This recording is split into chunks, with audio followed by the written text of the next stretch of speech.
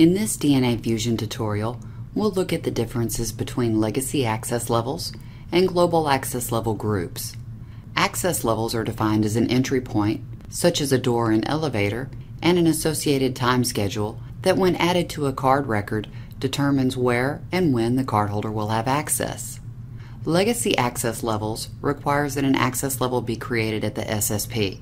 Legacy access level groups are then created to group the individual access levels from the multiple SSPs together for ease of distribution to cardholders.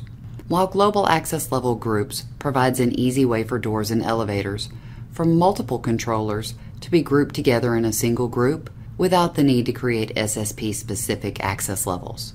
This will allow a cardholder to have access to doors on multiple controllers with a single global access level group. We will start by selecting the Access Level browser from the standard toolbar. The Access Level browser contains all the access levels and access level groups that have been added to the DNA Fusion system.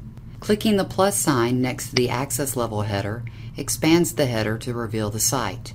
We will open the site to view the controllers.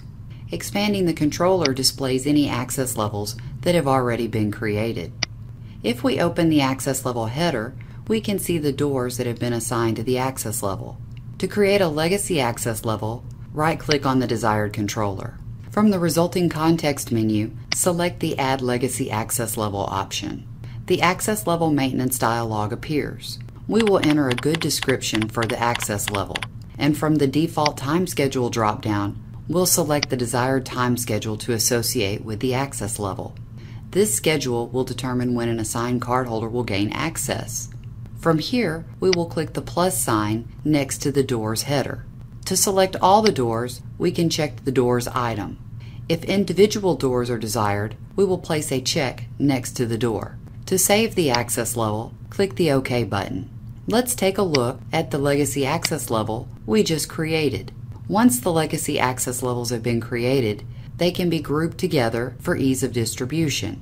To create a legacy access level group, we will right click on the access level group header. We are presented with two group options, global and legacy. Remember, legacy access level groups contain individual access levels that are created at the controller level, while the global access level groups allows us to select doors from any controller. Let's go ahead and select the legacy access level groups option.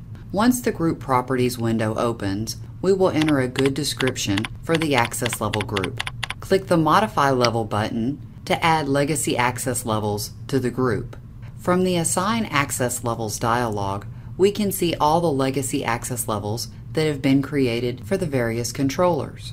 Note the access level addresses include the controller number that it is associated with. From here, we will select the individual legacy access levels that the group will contain. This is accomplished by selecting the assigned column next to the desired access level. The spacebar can be used to easily select consecutive access levels.